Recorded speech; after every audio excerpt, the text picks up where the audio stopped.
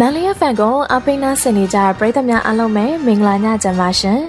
ဒီနေ့ညရဲ့ရေဒီယိုဇက်လန်စီဇန်မှာတော့စာရေးဆရာမင်းလူရဲ့ရီမောချင်းပေါင်းချုပ်ဝတ္ထုတွေကဝတ္ထုတွေကိုဆရာမင်းလူရဲ့ရေးသားတိုင်းမန်လီယာဖန်ရဲ့အစီအစဉ်တက်ဆက်သူတွေကအသက်သွင်းတရုပ်ဆောင်မှာပဲဖြစ်ပါတယ်ဒီနေ့ညမှာထုတ်လွှင့်မဲ့ဝတ္ထုတို့ကတော့အာနာတော်ဇက်လန်လို့အမည်ရတဲ့ဝတ္ထုပဲဖြစ်ပါတယ်ပရိသတ်များအားလုံးပဲခန်းစားနားဆင်ကြပါအောင်ရှင် ပရိသတ်များအားလုံးပဲမင်္ဂလာပါဒီနေ့ရဲ့ဒါရေဒီယိုဇက်လန်စီစဉ်မှာဆိုတော့ဆရာမင်းလူရဲ့ရေမောချင်းပေါင်းချုပ်စာအုပ်ထဲကအာနာတော်ဇက်လန်ဆိုတဲ့ဇက်လန်လေးကိုကျွန်တော်တို့မန်လီယက်ဖန်ဖွဲ့သားတွေအားလုံးအတင်ဆက်ပေးတော့မှာဖြစ်ပါတယ်ကျွန်တော်တို့ကြော်မျိုးပါဒီနေ့ရဲ့အာနာတော်ဇက်လန်မှာပေါ့နော်အဓိကအာနာတဲ့လူကြီးညံစိန်ဖြစ်ကျွန်တော်ကတရုပ်ဆောင်တော့မှာဖြစ်ပါတယ် ဟုတ်ကဲ့ပါ Manly FM Radio ကိုနားထောင်နေကြတဲ့ပရိသတ်တွေအားလုံးပဲမင်္ဂလာပါရှင့်။အဲ Radio ဇလန်းမှာဆိုလို့ရှိရင်ဒီနေ့စံတီယာကတော့အရန်အားနာတတ်တဲ့ကိုညံစိန်ရဲ့ဒါဇနီးစောလေးအဖြစ်သရုပ်ဆောင်မဲ့မလုံးဖြစ်ပါတယ်ရှင်။ ဟုတ်ကဲ့ကျွန်တော်ကတော့မြဖုံးဖြစ်ပါတယ်။အဲဒီနေ့မှာတော့ကျွန်တော်က character နဲ့စုံမယ်ပေါ့နော်။အဲ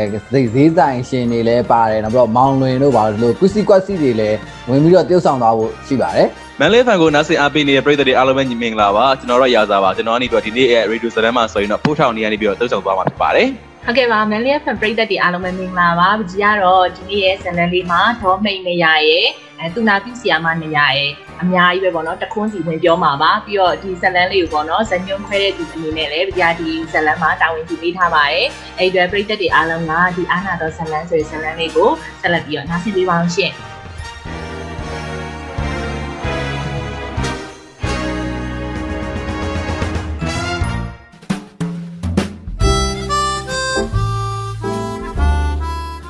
ညံစိန်ဟာအလွန်အားနာတတ်သူဖြစ်ပါတယ်။ဘလောက်ထိအားနာတတ်တယ်လဲဆိုရင်သူအားနာတတ်ကြောင်းတခြားသူတွေသိသွားမှလဲစိုးရိမ်တဲ့အထိအားနာတတ်ပါတယ်။သူများတွေသိသွားရင်အားနာစရာကြီးကွာ။အဲ့လိုမျိုးသူကသူ့မိန်းမမက်လုံးကိုပြောလိမ့်ရှိပါတယ်။မက်လုံးကတော့ကိုညံစိန်ကလေသိအားနာတတ်တာရှင်။မက်လုံးကဒီလိုဂုံယူသောလေတံဖြင့်သူများတကာကိုပြန်ပြောတတ်ပါတယ် ဒီလိုပြောခြင်းကပင်နဲ့ညံစိတ်ကိုပိုးပြီးအားနာတတ်အောင်အားပေးအားမြောက်ပြုတယ်လို့ဖြစ်နေပါတယ်။ဒါကြောင့်ညံစိတ်ဟာဆက်လက်၍အားနာမြဲအားနာဆဲပါပဲ။ညံစိတ်အားနာတတ်ခြင်းကိုအကြောင်းပြုပြီးအမျက်ထုတ်တတ်တဲ့သူတွေလည်းရှိသည်။အလွယ်ဆုံးကတော့ပတ်စံချေပြီးပြန်မပေးခြင်းပင်ဖြစ်သည်။ညံစိတ်ကလည်းဘယ်တော့မှမတောင်းချင်။နောက်တနည်းကတော့နည်းနည်းပညာပါသည်။တမဝိုင်မဆိုင်ကရွှေဝါထွန်းတို့လိုအမထတို့လို စံကောင်းပေးတဲ့အခါမှာတချို့ကအမျက်နဲ့ပြန်ရောင်းစားပြစ်သည်ချက်စရာမရှိလျင်မလုံးရေစံလေးတစ်ပြီတော့ခဏချီပါနော်ဟိုရှေ့တစ်ပတ်ထဲဆာရထုတ်ပြီးတော့ပြန်ပေးပါမယ်အဲ့လိုမျိုးဆိုလာတတ်ပါတယ်သူတို့ကလည်းအကွက်လည်းမြင်တယ်ညံစိန်ရှိနေတဲ့အချိန်မျိုးမှမှလာပြီးတော့ချေးတတ်ပါတယ်ထိုအခါညံစိန်ကချေးလိုက်ပါကွာငါတို့မှရှေ့ပတ်ထိစားဖို့ရှိသေးရဲ့မလားအဲ့လိုမျိုးပြန်ပြောတတ်ပါတယ်စံချေးတဲ့သူတွေမှပြန်မပေးဘဲနေတော့တည်တော့မဟုတ် ပြန်ပေးပါတယ်တခုပဲချေးသွားတော့ကစံကောင်းပြန်ဆက်တော့ငစိန်စံဖြစ်နေခြင်းသာကွာပါတယ်ထို့အတွက်မက်လုံးကမကြင်မနှက်ပြောမိကြံလျင်မက်လုံးကလည်းကွာပြောမိပါနဲ့သူတို့လည်းအဆင်ပြေတယ်လို့ပြီးရတာပဲဟာလုံးဝပြန်မပေးဘဲနေရတာနဲ့ပြန်ပေးဖို့ရတာကသူတို့ရဲ့တည်တတ်မှုပဲလေအဲ့လိုမျိုးညံစိန်ကကြံဖန်ကျေးဇူးတင်လိုက်ပါတယ်မက်လုံးကလည်းညံစိန်ပြောလိုက်ရင်ဘာမှဇောတကမတတ်တော့ သူကလည်းသူ့ကိုယ်သူတော်လေးဝလို့ပါရမီဖြည့်ဘက်ဖြစ်သည်ဟုအထင်ရောက်နေသည်ပဲလေညံစိန်ကပုဂ္ဂလိကလုပ်ငန်းတစ်ခုမှာအလုပ်လုပ်ပါတယ်ပလတ်စတစ်အယုတ်တွေလုပ်တော့စက်ရုံဖြစ်ပါတယ်စက်ရုံပိုင်ရှင်ကညံစိန်အကြောင်းကိုသိတယ်ဒါကြောင့်သူ့ကိုချော့ပေါင်းတယ်လောက်ခနည်းနည်းပါပါပို့ပေးပြီးအလုပ်ကိုများများဖိခိုင်းတယ်ညံစိန်ကလည်းသူ့ထုံးစံအတိုင်းအားနာပါနာလုပ်ပေးတတ်ပါတယ်သူဟာဘောလုံးကန်လဲဝါသနာပါတယ်သူတို့ရက်ကွက်ဘောလုံးအသစ်မှာ ဂိုးသမားဖြစ်ပါတယ်။ဘောလုံးကန်ရမှာလည်းသူ့ဝါသနာလေးကိုမဖြောက်နိုင်ပါဘူး။တခါကသူတို့ရက်ကွက်အသင်းနဲ့တခြားရက်ကွက်အသင်းတို့ဘောလုံးကစားကြပါတယ်။သူတို့ဘက်ကနှစ်ဂိုးအပြတ်နဲ့နိုင်နေတယ်။တစ်ဖက်အသင်းကခြေပဂိုးများရရင်စူးစမ်းတော့လဲသူတို့နောက်တန်းလူများကိုမကြော်နိုင်ပါဘူး။တလုံးတလေကျွန်းထွက်လာတော့လဲကန်ချက်ကမမှန်ပါဘူး။ဘေးထွက်သွားတာတို့အပေါ်ထောင်သွားတာတို့ကန်ချက်မှန်ပြန်တော့လဲအားပြော့ပါတယ်။ညံစိန်အလွယ်တကူ ဖမ်းမိသည်တစ်ဖက်အသင်းကလူတွေတဖြည်းဖြည်းစိတ်တက်ကြလာသည်ဘောလုံးအပေးအယူတလွဲတချော်တွေဖြစ်လာတယ်အချင်းချင်းစကားများကြလာတယ်ပရိသတ်ကလည်းလှောက်နေပါတယ်ညံစိန်ဟာတစ်ဖက်အသင်းကလူတွေအပေါ်အားနာလာပါတယ်နှကိုးအပြက်နဲ့ရှုံးရတယ်ဆိုရင်တော်တော်ရှက်ချရှာမှာပဲမတကားနှကိုးတကူနဲ့ကက်ရှုံတာဆိုနည်းနည်းတာအောင်မဲလို့သူတွေးနေမိပါတယ်ထိုအချိန်မှာတချီမှာတစ်ဖက်အသင်းကရှေ့တန်းလူတွေက ဘောလုံးကိုစူးစမ်းပန်းစားနဲ့တဲလာပါတယ်ညံစိန်တို့ဘက်ကနောက်တန်းလူတယောက်ကခက်ကြမ်းကြမ်းဝင်လူတဲ့အတွက်ပြစ်ဒဏ်ဘောပေးခံရပါတယ်ပြစ်ဒဏ်ဘောကိုတစ်ဖက်အသင်းရှေ့တန်းလူကကန်တယ်ဘောလုံးကမြောက်တက်လာတယ်ကန်ချက်ကခက်ပျော့ပျော့ပဲညံစိန်ဖမ်းမယ်ဆိုရင်လွတ်လပ်ကူကူဖမ်းနိုင်တာပါဒါပေမဲ့ညံစိန်ကလှုပ်ပေးလိုက်ပါတယ်ကိုကဝင်သွားပါတယ်တစ်ဖက်အသင်းကလူတွေကအားတက်လာပြီးအတင်းဖိကစားရာ ပွဲပြီးရန်15မိနစ်လိုသောအချိန်အတွင်းနောက်ထပ်နှစ်ဂိုးထပ်ရသွားပါတယ်တစ်ဖက်အသင်းကလူတွေကညံစိန်ကို ပြန်ပြီးအားမနာကြတော့ပါဘူးနောက်ဆုံးတကိုးဆိုရင်အနီးကပ်ပြီးတအားကြုံကန်ရာညံစိတ်မျက်နာကိုထိပြီးဂိုးဝင်သွားခြင်းပဲဖြစ်ပါတယ်။ညံစိတ်ကအာနာယုံမကမျက်နာပါနာပြီးသူတို့အသင်၃ဂိုး၂ဂိုးဖြင့်ရှုံးသွားရပါတယ်။တခြားဘောလုံးသမားတွေဖြစ်ကြတဲ့ ကြော်ကော့နဲ့မောင်ဝါတို့ကညံစိတ်ညံ့လို့ရှုံးရတာလို့အပြစ်တင်ကြပါတော့တယ်။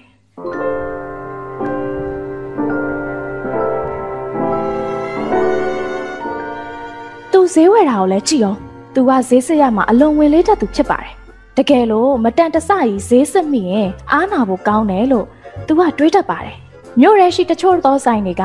ဈေးကိုနှစ်ဆနီးပါးတင်ထားတတ်ကြောင်းခောက်ချိုးလောက်ဈေးစစ်မှတော်ကကြကြောင်းသူမသိရလဲမဟုတ် ဒါပေမဲ့ပါဇက်ကပြောမထွက်ချင်ဥပမာအင်ကြီးတစဝဲသည်ဆိုပါစို့ တကိုက်ဘယ်လောက်လဲ ဈေးမေးလိုက်ပါတယ်ဆိုင်ရှင်က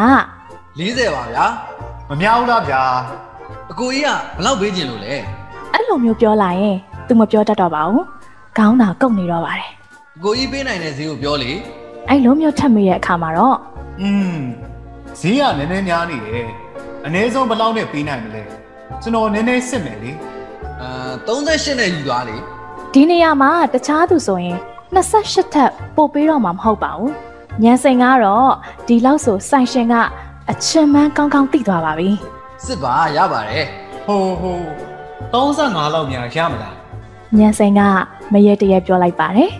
အာအရင်တော့35ခွဲရှိပါတယ်နည်းနည်းပို့ပေးလိုက်ပါဗျာဘယ်လောက်ထားပေးမလဲပြောလေကဲကျွန်တော်တို့တစ်ချက်တော့ပေးစား36ချက်ခွဲနဲ့ယူဟုတ်လား ညံစိန်ခေါင်းညိတ်ပြီးသားဖြစ်ပါတယ်ဒါကြောင့်သူပစ္စည်းဝယ်ရင်အမြဲတမ်းဈေးကြီးရနဲ့မိတတ်ပါတယ်ဈေးစစ်စရာမလိုတဲ့တခွန်းဆိုင်တို့ကွန်ပျူတာဆိုင်တို့လိုမှဝယ်ရင်အယောင်စရေးထုတ်ပေးတဲ့ပစ္စည်းကိုသာယူပါတယ်အယောင်မကြိုက်လို့အနာစာပါနေလို့ဆိုပြီးတော့ပြန်လဲမခိုင်းတတ်ပါဘူးသူ့စိတ်ထဲမှာအနာစာပါတဲ့ပစ္စည်းကိုသူမယူရင်ဆိုင်မှာကြံနေမယ်မတော်တဆမျက်စိမှုန်သူတယောက်ယောက်ကမသိပဲယူမိသွားမှာကိုစိုးရိမ်မိတော့ကြောင်းဖြစ်ပါတယ် တခါတလေမက်လုံးကနေမကောင်းတဲ့အတွက်သူဈေးသွားဝယ်ရတဲ့အခါမှာလဲခရမ်းကျင်သီးတို့ဘာတို့ကို သူ့ဘာသာမရွေးပါဘူးဈေးတယ်ထဲ့ပေးသမျှအ yi အယော်တွေပါလဲဘာမှမပြောဘဲနဲ့ယူလာတတ်သူပါ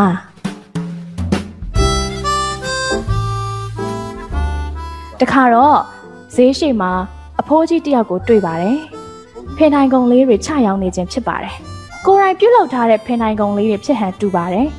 လေးငါးလုံးလောက်သာရှိပါတယ်အဖိုးကြီးကတော်တော်အိုမင်းနေပြီ80ကျော်80အတွင်းလောက်ရှိပါတယ်အဝတ်စားတွေကလည်းခန်းနှွမ်းနှွမ်းသားထောက်သမီးကန်ရှိမှရှိရဲ့လားရှိတော့လဲသားသမီးတွေကမထောက်ပံ့နိုင်လို့လက်ဖြစ်ပစ္စည်းကလေးတွေကိုယ်တိုင်လောက်ပြီးရောင်းချစားတောက်နေရှာတာလားအဖိုးကြီးထံကဖင်ထိုင်ကုန်တစ်လုံးလောက်ဝယ်လိုက်မယ်လို့သူစိတ်ကူးလိုက်ပါတယ်ဟာတလုံးဘယ်လောက်လဲအဲ့လိုမျိုးမေးလိုက်ပါတယ်အဖိုးကြီးက 3ချက်အဲ့လိုမျိုးပြန်ဖြေလိုက်ပါတယ်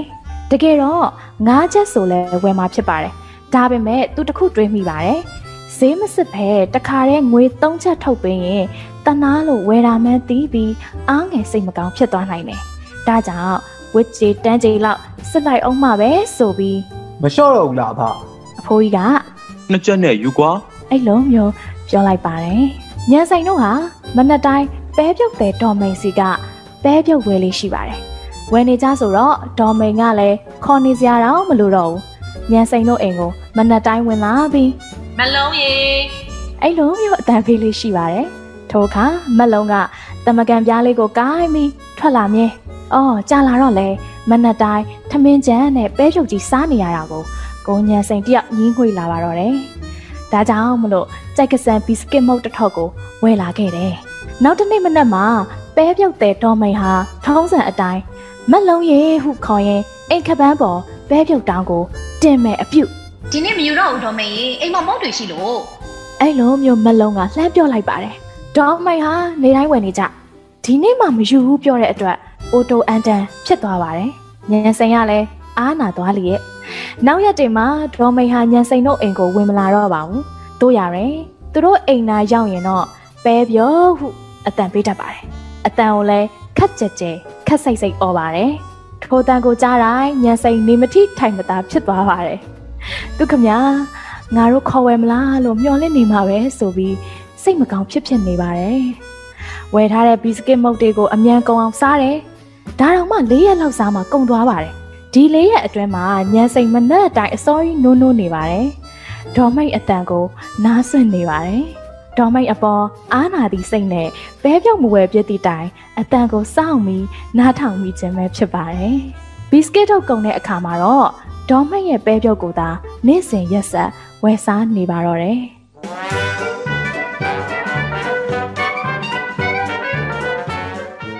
ညဆိုင်တယောက်ဘတ်ကားစီရင်ထိုင်စရာနေရာရလိမ့်မရှိပါဘူး။နေရာလွတ်ပြီးမထိုင်တတ်တာကြောင့်လည်းဖြစ်ပါတယ်။ဘတ်ကားစီတယ်ဆိုတာကအာနာနေလို့မဖြစ်ဘူး။ တယောက်ကိုတယောက်တိတ်ညာတာနေလို့လည်းမရပြန်ဘူး။လင်ရမယ်၊တော့ရမယ်။အာညဆိုင်ကတော့ဒါမျိုးမဟုတ်ပါဘူး။ကားပေါ်ကိုတိုးတက်လဲနောက်ဆုံးက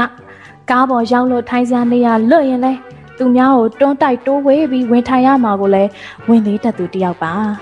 တခါကတော့သူနေရာရဘူးတဲ့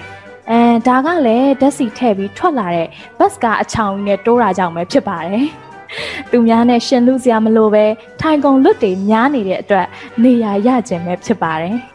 တခါတလေနေရာရတာဖြစ်တော့ကြောင့်ညံစိန်ဟာစိန်ကြကြထိုင်းပြီးလိုက်လာတယ်ဒါပေမဲ့ကြားရှိထိုင်ခွင့်မရလိုက်ပါဘူးရှင်းမတိုင်များမှာလူတွေထပ်တက်လာတဲ့အတွက်ကားပေါ်မှာကြက်လာတယ်နောက်တော့လင်မယားနှစ်ယောက်တက်လာပြီးညံစိန်ပေးမှာလာရက်တယ်မိမကကိုဝင်းနဲ့ဖြစ်တယ်ညံစိန်ကနေရာဖယ်ပေးလိုက်တယ်အမျိုးသမီးကဝင်ထိုင်လိုက်ပါတယ် နောက်သုံးလေးမှတ်တိုင်လောက်ကြော်လာတဲ့အခါမှာကိုဝင်နဲ့အမျိုးသမီးဘေးမှာထိုင်နေတဲ့မိန်းမကြီးဟာဆင်းသွားပါတယ်တကယ်ဆိုရင်ကိုဝင်ဆောင်အမျိုးသမီးကိုညံစိန်ကနေရာဖယ်ပေးခဲ့ရတာကြောင့်ခုံလွတ်သွားတဲ့နေရာမှာညံစိန်ဝင်ထိုင်တက်ပါတယ်ပြီးတော့ဒီထိုင်ကုန်နဲ့အနီးဆုံးမှာညံစိန်ကရှိနေတာပါဒါပေမဲ့ညံစိန်ကရောင်ချချတုံနေနေလုံနေပါတယ် ထိုစမှာကိုဝင်ဆောင်အမျိုးသမီးရဲ့ယောက်ျားလောက်သူကညံစိန်ကိုတိုးဝှေ့တွန်းဖဲပြီးနေရာကိုလူထိုင်လိုက်ပါတယ်ကိုဝင်ဆောင်အမျိုးသမီးကညံစိန်ကိုအားနာတဲ့အကြည့်နဲ့လှမ်းကြည့်လိုက်ပါတယ်ညံစိန်လည်းအမျိုးသမီးရောရှက်သွားမှာပဲဆိုပြီးမကြည့်မိအောင်မျက်နှာလွှဲထားလိုက်ပါတယ်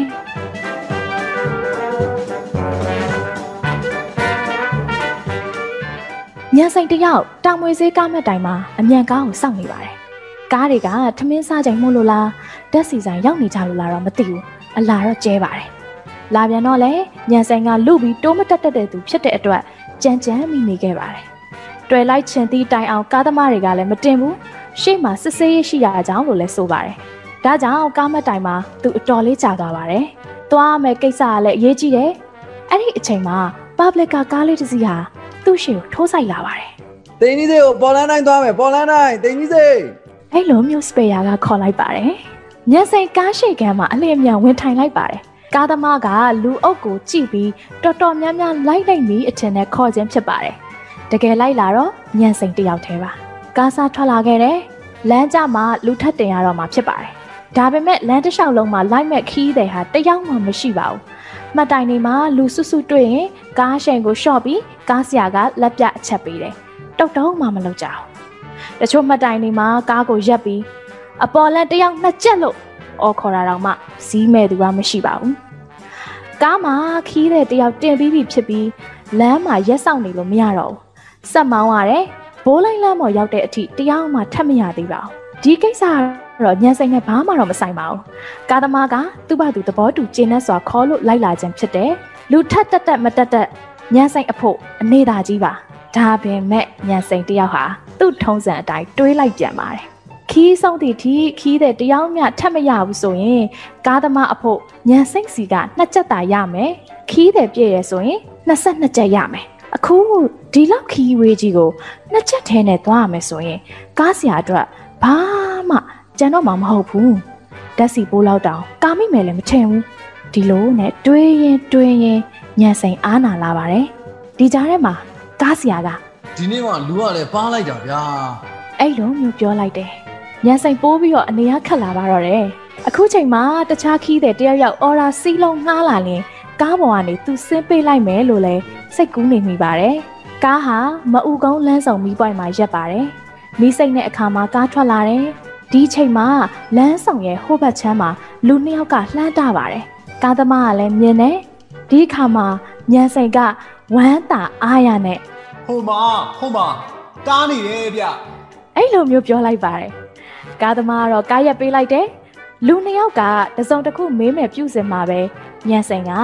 အပေါ်လန်းအပေါ်လန်းအဲ့လိုမျိုးဥအောင်ပြောလိုက်ပါတယ်ဟိုလူနှစ်ယောက်ကတော့ခေါင်းခါပြီးဘူရာဘက်ကမသွားဘူးလားအဲ့လိုမျိုးမေးလိုက်ပါတယ်ညံစိန်ကဘူရာဘက်ကသွားလဲရပါတယ်အဲ့လိုမျိုးကားသမားကိုဖြတ်ပြောပါတယ်ထိုစင်မှာရွှေရွှေဆိုပြီးခရမောက်တန်ကြားရတယ် ရင်ထင်းရဲ့တယောက်ကားစီကိုရှောက်လာပါပြီလိုင်စင်လေးတစ်စိတ်လောက်ပေးပါဗျာမှန်သည်ဒီနေရာမှာကားမရရအောင်ကားသမားကမျက်နှာငယ်လေးနဲ့ဟာမလုပ်ပါနဲ့ဆရာရဲ့ဒီနေ့ကားလုံးကဆွဲမကောင်းလို့ပါအဲ့ဒါတွေပြောနေပါနဲ့လေလိုင်စင်သာပေးပါဟိုဟိုရင်ထင်းရဲ့ကလိုင်စင်ကိုသာအတွင်တွင်တောင်းနေတော့ပါတယ်ကားသမားကလည်းမတက်တာတော့လိုင်စင်ထုတ်ပေးလိုက်ရတယ်ရင်ထင်းရဲ့ကလိုင်စင်ကိုလှမ်းယူလိုက်စင်ကားသမားက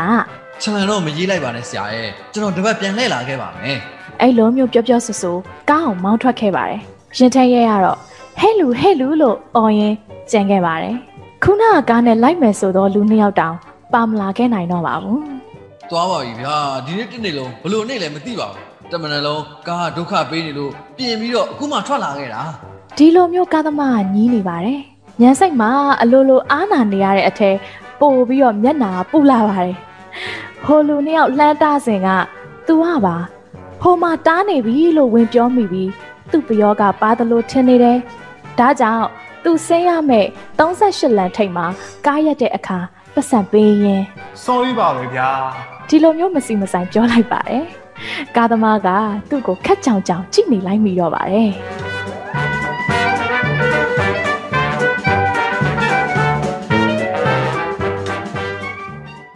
Manly FM ပရိသတ်များရှင်အခုညရေဒီယိုဇက်လန်မှာနားဆင်ကြရတာကတော့ဆရာမင်းလူရေးသားထားတဲ့အာနာတော်ဇက်လန်လို့အမည်ရတဲ့ဝတ္ထုတိုပဲဖြစ်ပါတယ်။စာရေးဆရာမင်းလူရဲ့ရီမောချင်းပေါင်းချုပ်ဝတ္ထုတွေကဝတ္ထုတိုတွေကိုဆရာမင်းလူရဲ့အရေးသားတိုင်း Manly FM ရဲ့ season 13တွေက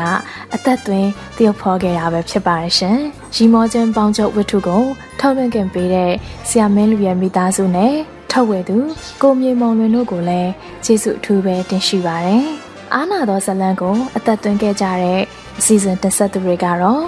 ကြော်ကြော်မျိုးမြတ်ဖုံရာစာရွှေပကြီးစန်းတီယာနဲ့ဇက်ကြောင်ပြောသူကျမကတိတို့ပဲဖြစ်ပါရဲ့ရှင်။စီစဉ်သူအနေနဲ့ရွှေပကြီးဖြစ်ပြီးဒီဇလန်းကိုတီးဖြတ်ပေးသူကတော့ရမုံဟန်တို့ပဲဖြစ်ပါရဲ့ရှင်။ Manly FM ပရိသတ်များရှင်ရေဒီယိုဇက်လန်စီစဉ်ကိုနားဆင်ရင် ပရိသတ်တရဲ့ဘဝအမောတွေပြေပြောင်းနိုင်ကြပါစေလို့ဆုမွန်ကောင်းတောင်းဆန္ဒပြုပေးလိုက်ပါတယ်ပရိသတ်များအားလုံးပဲမင်္ဂလာညချမ်းပါရှင်